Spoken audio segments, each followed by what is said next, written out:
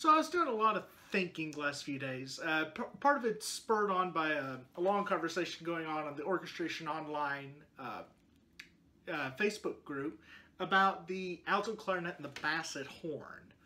Um, a lot of people who are familiar only with orchestral music tend to think that the basset horn is pretty common.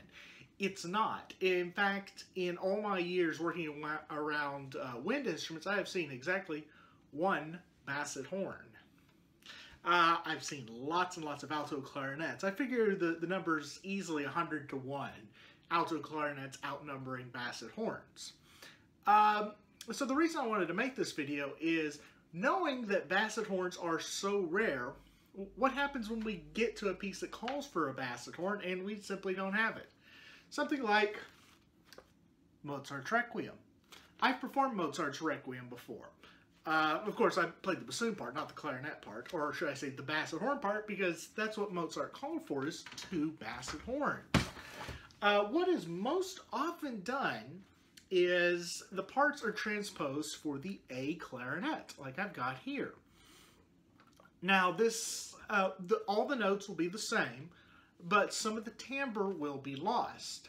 So what I've done is I have recorded the opening of the first movement, the Requiem, uh, for two A clarinets.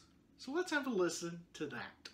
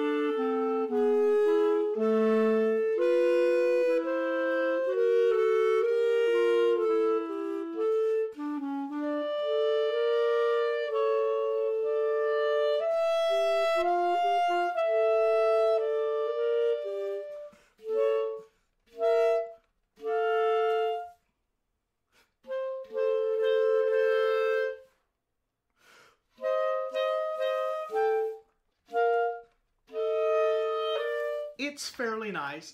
Uh, there are some, of course, flaws in my playing. Overdubbing um, without a second player is a little bit uh, challenging right now. Uh, yeah, that took a lot of takes just to get to there. But it's not quite what Mozart wrote because what Mozart wrote is uh, for notes much higher in the clarion range. So what I then did is I transpose the part for alto clarinet in E flat. This is only a step away on the bigger side from what Mozart originally wrote for the F basset. It's a little bit bigger bore, but I think this really will preserve the sound of the basset horn a lot closer than the A clarinet will. So let's have a listen to the same excerpt played on two alto clarinets.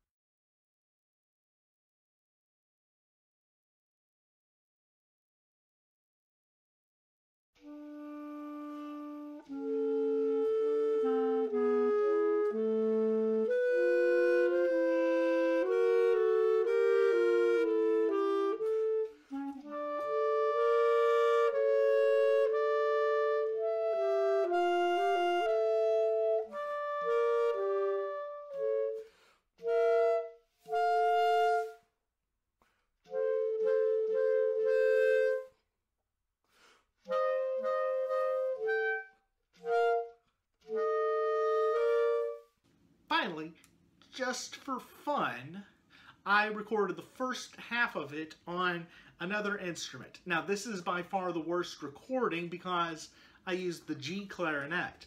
This is a, another instrument that's just a step away from the basset horn. This might actually be the closest sound to the basset horn of the three instruments that I recorded. However, this is also the clunkiest instrument, therefore the recording is also the worst of the three.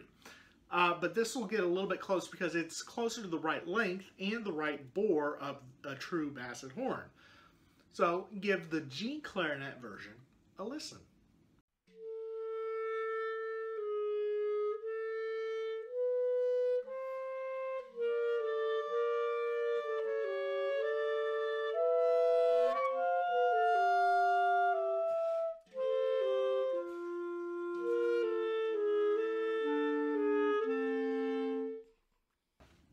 Now, of course, I wish I had a control sample to have, but I may have several different sizes of clarinet, but basset horn is not one of them.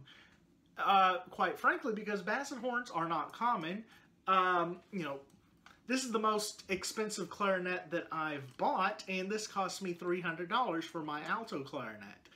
Uh, a basset horn is going to be about eight to 10,000 which is one reason we don't see them often, and no one has ever come out with a cheap student line basset horn.